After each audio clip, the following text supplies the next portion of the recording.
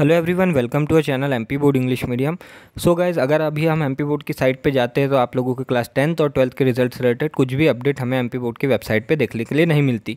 वहीं बच्चों का मेरे पास कंटिन्यूसली एक सवाल आता है कि भैया हमारा रिज़ल्ट आखिर कब आएगा? इससे पहले मैंने एक वीडियो बनाया था, उसमें मैंने आप लोगों से कहा था कि पच्चीस तारीख से पहले आप लोगों का रिज़ल्ट आने की बहुत ज़्यादा संभावनाएँ बनती है। तो गाइज़ अभी रिसेंटली कुछ ऐसा मैंने एमपी बोर्ड के ट्विटर हैंडल पर देखा, जिससे कि आप लोगों की डेट जो है रिज़ल्ट की वो और ज़्यादा कन्फर्म होने के चांसेस हो, मिलते हैं। तो क्या है वो अपडेट इस वीडियो में आप लोगों को शेयर करने जा रहा हूँ तो प्लीज़ वीडियो को एंड तक देखिएगा और इन्फॉर्मेशन पसंद आती है तो अपने दोस्तों में भी ज़रूर से शेयर कीजिएगा। मैंने जैसा कि पिछले वीडियो में कहा था कि पच्चीस तक के आपका रिज़ल्ट आ सकता है तो उसी से रिलेटेड एक और कन्फर्मेशन हमें यहाँ पे एमपी बोर्ड की तरफ़ से मिलता हुआ दिख रहा है। तो क्या है कन्फर्मेशन तो देखो गैस अभी मैं रिसेंटली एमपी बोर्ड के ट्विटर हैंडल को चेक कर रहा था तो ट्विटर हैंडल पर मुझे अपडेट मिली। जैसा कि आप देख सकते हैं अपने स्क्रीन पर ऑफिशियल एमपी बोर्ड के जो ट्विटर हैंडल है, उसने ही ट्वीट किया है कि मध्य प्रदेश के महाविद्यालय में 25 मई से प्रवेश हो गए प्रारंभ।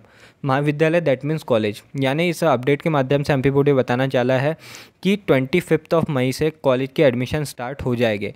और एक बच्चा कॉलेज में कब एडमिशन लेता है? जब वो ट्वेल्थ को पास कर लेता है।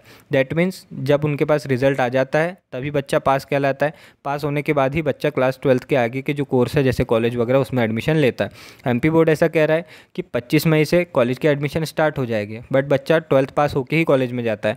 तो कहीं ना कहीं अगर हम इस अपडेट को अपने रिज़ल्ट से रिलेट करें तो हम ये सोच सकते हैं कि 25 से पहले एमपी बोर्ड रिज़ल्ट को है डिक्लेयर कर देगा, तभी बच्चे एडमिशन ले पाएँगे। तो हम अगर इस अपडेट की माने तो आप लोगों का 25 से पहले रिज़ल्ट आने के बहुत ज़्यादा चांसेस बनते हैं। ऐसे ही मेरा अजप्शन है। ये मैं जस्ट सोच रहा हूँ और मुझे अपडेट दिखी थी तो मैं आप लोगों को तक शेयर करना चाहता था। आप अपना ओपिनियन मुझे कमेंट सेक्शन में ज़रूर बताइएगा कि आप लोगों को भी ऐसा ही लगता है कि पच्चीस से पहले रिज़ल्ट आ जाएगा। देखिए, अगर कॉलेज के एडमिशन स्टार्ट हो रहे हैं तो एम के भी बच्चे ऑब्वियसली कॉलेज में एडमिशन लेना चाहेंगे तो उनके लिए उसको रिज़ल्ट लगेगा।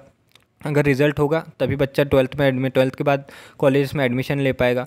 तो मुझे तो ऐसा ही लगता है कि 25 से पहले आप लोगों का रिज़ल्ट डिक्लेयर कर दिया जाएगा, बट अभी तक एमपी बोर्ड की तरफ़ से ऐसा कुछ ऑफिशियल नोटिस जारी नहीं किया गया है। हो सकता है आज या कल में एमपी बोर्ड कुछ ऐसा नोटिस जारी करे जिसमें आप लोगों की रिज़ल्ट डेट वो कन्फर्म कर दें। मैं तो जल्दी यही चाहता हूँ कि जल्दी से जल्दी आप लोगों का रिज़ल्ट आ जाए। आप अपना ओपिनियन कमेंट सेक्शन में ज़रूर बताइएगा। और ये आप लोगों को एक और अपडेट मैं देना चाहता हूँ कि ये आप लोगों के जो कॉलेज के एडमिशन है, पच्चीस तारीख से स्टार्ट हो जाएँगे। तो ऐसे जो भी कोर्स जिसमें आप परसेंटेज बेसिस पर एडमिशन लेना चाहते थे तो एमपी ऑनलाइन का जो पोर्टल होता है एम काउंसिलिंग का, उसमें आप रजिस्ट्रेशन करना पड़ेगा, तभी आप उसमें वैलिड वैलिडिटी प्राप्त कर पाएँगे और अपना जो एडमिशन हो कन्फर्म कर पाएँगे। इससे रिलेटेड अगर आप और इन्फॉर्मेशन चाहते हैं कि कैसे कॉलेज के लिए एडमिशन के लिए अपन इनरोल करते हैं तो मैं एक वीडियो आप लोगों को ज़रूर बना करके दे दूँगा। इस वीडियो में बस इतना ही था। आई होप आप सभी को वीडियो में इन्फॉर्मेशन पसंद आया तो वीडियो को लाइक कीजिएगा और ऐसे वीडियो के लिए हमारे चैनल को सब्सक्राइब कर लें। Thank you for watching this video मिलते हैं आप सभी से नेक्स्ट वीडियो में।